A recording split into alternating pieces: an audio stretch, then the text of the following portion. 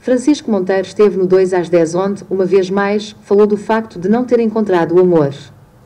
Primeiro tento não fazer muitos planos e tento acima de tudo procurar estar um bocadinho melhor comigo.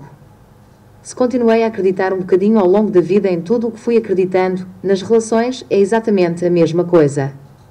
Tenho a certeza de que um dia vai aparecer, disse a Cristina Ferreira e a Cláudio Ramos, enquanto Bárbara Parada o esperava na piscina de um hotel em Sintra. Ela tinha coisas marcadas, mas à última hora resolveu ir com os Asa para Lisboa. Começa por nos contar uma fonte próxima do casal que prefere manter o anonimato. Bárbara Parada e Francisco Monteiro passaram dois dias de puro romance nesta unidade hoteleira e foi no momento do check-out, carregados com as malas, que foram apanhados pela TV sete dias. Quem se mostrou mais incomodado com a situação foi mesmo o vencedor de Big Brother 2023 que chegou a confrontar a equipa da Nossa, a sua revista. Zaza ficou muito preocupado porque não queria tornar público o namoro.